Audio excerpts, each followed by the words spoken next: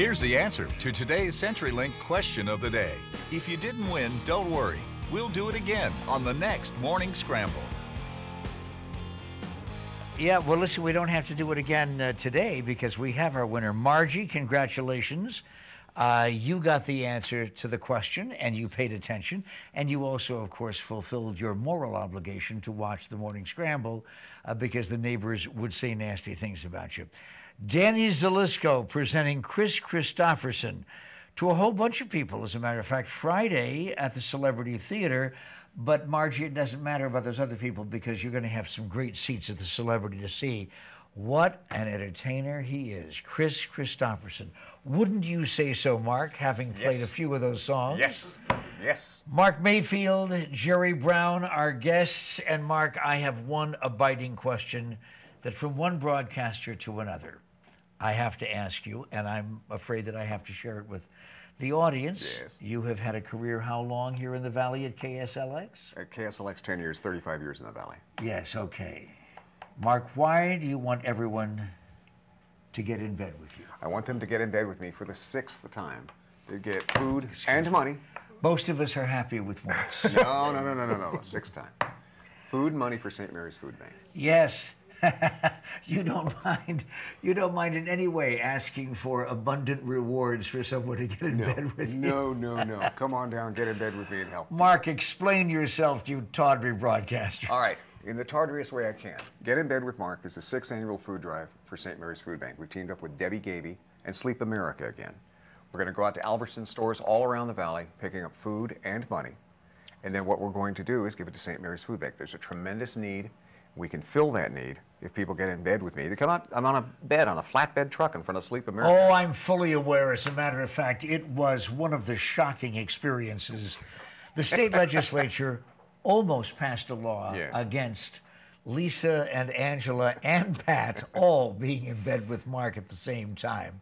And I read about those in, uh, in, in some romance novels. Yes, you But it was the first time that I ever felt good about doing it for charity. Especially on Jerry camera. Brown, are you sure you want to be a part of this company? I mean, after all, TV and radio guys together, and then a legitimate person like you. Yes. We've been in the bed with this man for several years. Um, Yes, six, six, yes. six years. Uh, we've raised over a half million meals in the six years. For whom? For um, the hungry of Arizona. One in four children um, go to bed hungry in Arizona. It's a horrible statistic. It's something we're trying to remedy, and it's something that the folks at KSLX and Sleep America have really helped us. with. Okay, but tell us who you represent. I represent St. Mary's Food Bank. Um, we're, uh, we're the- the hungry of Arizona and the folks who, uh, you know, there's just there's just a lot of people out there right now. Um, it's a, it's a tough time. Um, we are d- distributing more food than we ever have before, and uh, all the folks who helped us out in November and December with our holiday food, that's kind of that supply's been exhausted. So we're hoping to we're, we're hoping to restock, and, and events like this really help us. Jenna, we have to remind people uh, on the air, radio and television, all the time about statistics like that. But doesn't it still shock you when you hear about one in four Arizona children going to bed hungry? Yeah, I mean, Arizona children going to bed hungry, senior citizens going to bed hungry. People have to worry about keeping a roof over their heads and then whether or not they're going to have food for their families. It's just wrong, but we can do something about it, and that's what we've been doing with the Get in Bed with Mark food drive with St. Mar- uh, St. Mary's Food Bank. Okay, Sleep so that nobody's confused. How does it work? How does this put food into the coffers of St. Mary's Food Bank? People come out to, the, we're going to basically, we're going to be at the uh, Sleep America store on Cactus up there by Paradise Valley Mall. Going to be there for three days, taking in food and money. We're also going to have trucks out at various Albertson stores. You drop off non-perishable food items. You drop off money. If you give us a dollar, we can give that to St. Mary's Food Bank. They can turn that into seven meals. But non-perishable food items are what they're looking for. And you can actually go to KSLX.com and download a list that'll show you what it is people need from at St. Mary's Food Bank. It's, it's the same stuff you'd expect to find in your own cupboard. The basics: pasta, beans, rice, canned fruit and vegetables, uh, uh, chili, things like that. Tuna fish, peanut butter and jelly, all those things. You give them to St. Mary's Food Bank, and after we give it to St. Mary's, within about 72 hours, it's on somebody's table. So it's a really good thing, and you see immediate results. And that's what we've been doing for the last six years. We're going to get out there and do it again this year. Well, and you've been so actively involved uh, with this program for so many years. I know you've been at St. Mary's and, and you see that transition. And it is not only efficient, but it is wonderful to see how unbelievably fast the food gets from the donor to the person who needs it most. And the stories you get from people that come up to us on the food drive. There's a guy who was back from Iraq, had a hard time getting a job, went hungry. Rides his motorcycle, thank you very much, from Gilbert all the way out to 73rd Avenue in Bell with a backpack full of cans to give to St. Mary's Food Bank to pay them back for helping him. So the stories you hear, it makes it all worthwhile.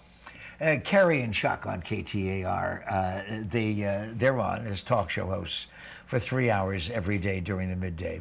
And I heard Carrie talking yesterday about cleaning out her cupboards. She was getting some some new cupboards uh, in the in the kitchen, uh, new cabinets, and she was cleaning them out and had all these canned goods. And she happened to mention at the time uh, that she was going to be giving them to charity, and and uh, that would be a terrific Yes. uh, motivation. Yes. Uh, just simply clean them out. You'll be happier that you have neater cupboards and cabinets. St. Mary's Food Bank really appreciates it, though.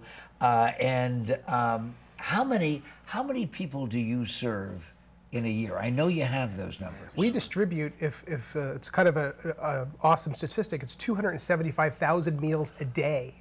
So we Say that distribute again. it's 275,000 meals a day, and that's to 10 of the 15 counties in Arizona.